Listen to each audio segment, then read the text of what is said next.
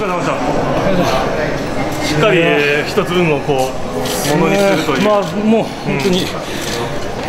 頑張ってくれた。優作と、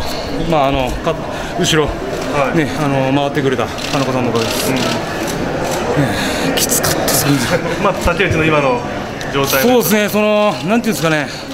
深谷とちょっとタイプがはい。似て異なるというか、もう休む後ろついてても休む場所がないんですよね。これなら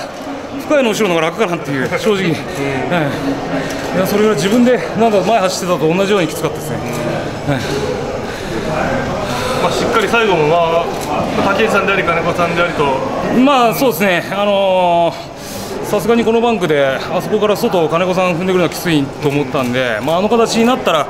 あの走る前にね、一応言ったんですけどね、金子さんに、あの僕、余裕あったら打ち上げるからっていうのは、まあそのかんえーそんな感じで、うん声も聞こえたし、最後、まあ、落ち着いて回れたけど、いっぱいです、は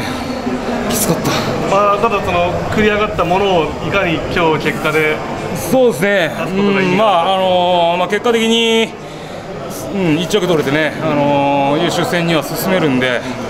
ええあのーまあ、上がったことが本当に、まあ明日以降にね、本当にプラスに働いてくれればなと思いますね。はい一条戦あの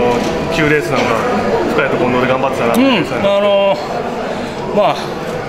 タスもいろいろあったっすけど、うんしっかり、あのー、2人で決めてくれたんでね、うん。やっぱこれで、あのーまあ、失敗しても二次予選あるとはいえ、えー勢いで逆転されちゃ、僕はその先はないないと思ってるんで、えーもうこのままリードしたまま、